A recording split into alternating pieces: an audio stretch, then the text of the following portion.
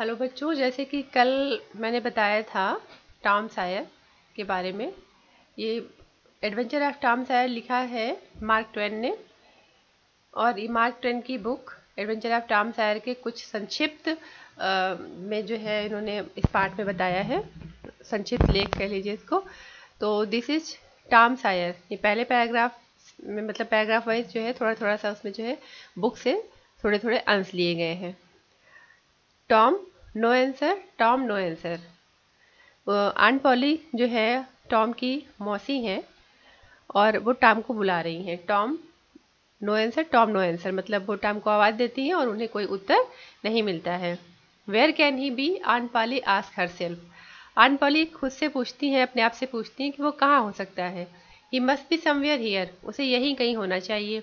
She went to the door looked out into the garden and then shouted again Tom Tom. वो दरवाजे तक गई, फिर बाहर जाके बगीचे में देखा, फिर चिल्ला के कहा, टॉम टॉम। टॉम को बुलाया, नो आंसर, कोई उत्तर नहीं मिला। The old lady stood there thoughtfully. वो बूढ़ी औरत मतलब उनकी मौसी जो थी अनपॉली वो वहाँ खड़े होकर के सोचने लगी। Suddenly she heard a sound behind her अचानक उन्होंने अपने पीछे एक आवाज़ सुनी। सी टर्न राउंड क्विकली वे तेज़ी से पीछे घूमी। There was Tom near the cupboard door वहाँ पर टाम था। अलमारी के दरवाजे के पास। देवा jam all round his mouth और उसके मुँह में चारों ओर जैम लगा हुआ था। इसका मतलब वो क्या कर रहा था? दरवाजे, अलमारी से जैम निकाल के खा रहा था। उसके पूरे मुँह में जैम लगा हुआ था। What have you been doing aunt Polly us angrily aunt Polly गुस्से से पूछती हैं कि तुम क्या कर रहे हो? When Tom did not answer she went on लेकिन टॉम तो कुछ नहीं बोला। उसने कोई उत्तर नहीं दिया। जब उसने कोई उत्तर नहीं दिया, सी वेंट ऑन वो आगे कहने लगी you have been stealing the jam again फिर तुम फिर से जैम चुरा रहे हो? दोबारा जैम चुरा रहे हो? Don't tell me that you have not ये मत कहना कि तुमने ऐसा नहीं किया है। Have not I told you haven't I told you a hundred times to keep away from that cupboard क्या मैंने तुमसे सैकड़ों बार नहीं कह चुकी हूँ कि जो है इस अलमारी से दूर रहा करो? वेयर इज़ माई स्टिक मेरी छड़ी कहाँ है? Aunt Polly took her stick and raise it high उसको मारने के लिए अनपॉली ने अपनी छाड़ी उठाई और उसको ऊपर उठाया। She was about to strike Tom her वो उसको ऊपर मारने वाली थी, प्रहार करने वाली थी टाम एकदम से चीखा। Look behind you aunt shouted Tom Tom ने चिल्ला कर कहा कि अपने पीछे देखो आंटी चाहे मौसी से कहा, अपने पीछे देखो। Aunt Polly look behind her aunt Polly ने अपने पीछे देखा दिस वॉज़ टॉम्स चांस ये टॉम के लिए मौका था। उसके लिए एक मौका मिला कि he rushed out of the house और वो घर से बाहर भाग गया। He climbed over the fence soon he was far away चार दीवारी के ऊपर चढ़ के वो बाहर चला गया और वो उस, दूर चला गया। जल्दी ही वो वहाँ से चला गया। Aunt Polly was angry but she had to laugh aunt Polly गुस्से में थी, लेकिन ये देख करके उन्हें हँसी आ गई। He is a bad boy she said to herself उन्होंने अपने आप से कहा है बहुत बुरा लड़का है बट आई लव हिम लेकिन मैं उसे प्यार करती हूँ। He is my poor dead sister's boy वो मेरी बेचारी मृतक बहन का बेटा है। And I must look after him और मुझे उसकी देखभाल करनी चाहिए। I don't like to hit him but I have to मुझे उसको मारना अच्छा नहीं लगता, लेकिन मुझे उसे मारना पड़ता है। If I don't punish him he will grow lazy and wicked अगर मैं उसे दंड नहीं दूँगी तो वह आलसी हो जाएगा और दुष्ट हो जाएगा। Yes I must be strict तो मुझे कठोर होना चाहिए मतलब उसके प्रति कोई दया नहीं दिखानी चाहिए सटानी करने पर। अनपॉलिसाइज उन्होंने गहरी सांस ली। I will have to punish him for stealing the jam मुझे उसे जैम चुराने के लिए दंड देना चाहिए। हाउ लेकिन कैसे? uh, वो सोचने लगे कि उसको अब कैसे दंड दें क्या सजा दें? I know tomorrow Saturday and there is no school on Saturdays उसने कहा कि मुझे पता है कि कल सैटरडे है और सैटरडे को स्कूल बंद रहते हैं स्कूल नहीं होते. The boys have a holiday और लड़कों की कल छुट्टी रहेगी. But I will make Tom work लेकिन मैं टॉम से काम करूँ, कराऊँगी. मतलब उसको छुट्टी का आनंद नहीं उठाने दूँगी, उससे काम करवाऊँगी दैट विल पनिश हिम और इससे उसको सजा मिलेगी. The next day was Saturday अगला दिन सैटरडे था. The school was shut school बंद थे।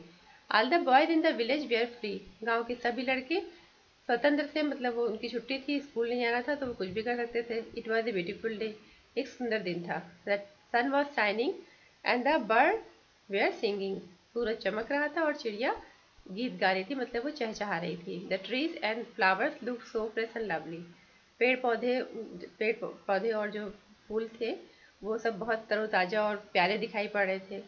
Tom of course wanted to go for swimming इतने अच्छे मौसम में टॉम बेशक जो है स्विमिंग के लिए जाना चाहता था, वो भी तैरने के लिए जाना चाहता था। All the other boys were going क्योंकि सारे और लड़के भी जो है, वो तैरने के लिए जाना चाहते थे, वो सब तैरने जा रहे थे। Tom sad came sadly out of the house अब इसके बाद क्या होता है कि टॉम बहुत दुखी होकर के घर से बाहर निकलता है। क्यों? क्योंकि उसकी आंट ने उसको काम दे दिया था। In one hand he held a long brush उसके एक हाथ में एक लंबा सा ब्रश था।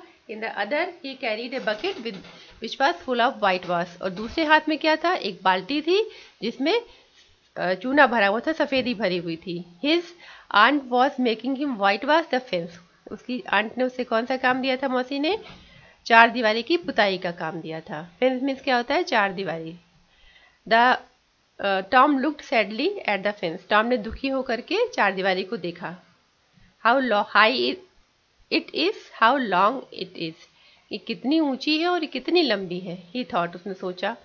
Indeed the height of the fence was nine feet and its length was thirty yard उसने सोचा, एक इसकी वास्तव में इसकी जो ऊंचाई होगी, वो नौ फुट की होगी और इसकी लंबाई तीस गज की होगी। Tom put his brush into the into the whitewash Tom जो ब्रश है, वो वाइट वाश में डाला।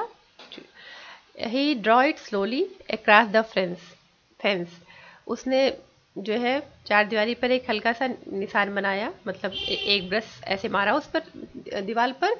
It made a very small white mark इससे बहुत छोटा सा सफ़ेद चिन्ह बना उस पर। ट्राम ट्राइड अगेन टाम ने दोबारा कोशिश की। Another very small white mark दोबारा फिर से वही, जब एक छोटा सा ब्रश लगाया तो छोटा सा निशान बन गया।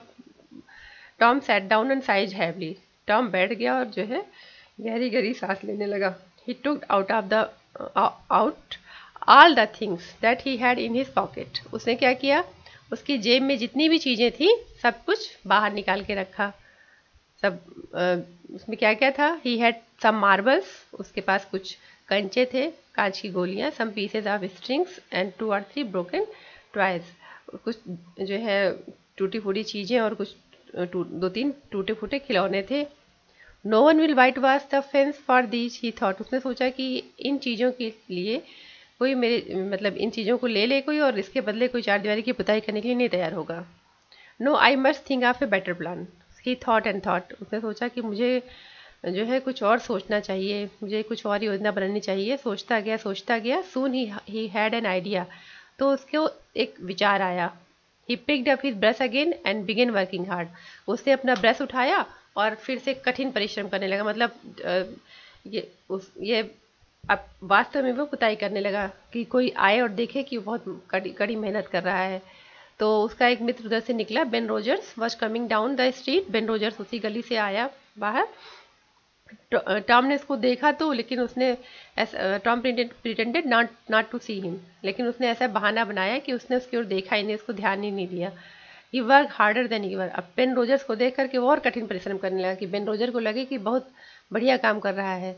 Ben was eating an apple उस समय बेन एक सेब खा रहा था। ही लुकड वेरी हैप्पी बहुत खुश दिखाई दे रहा था। He was pretending that he was a big ship and he was rolling like one.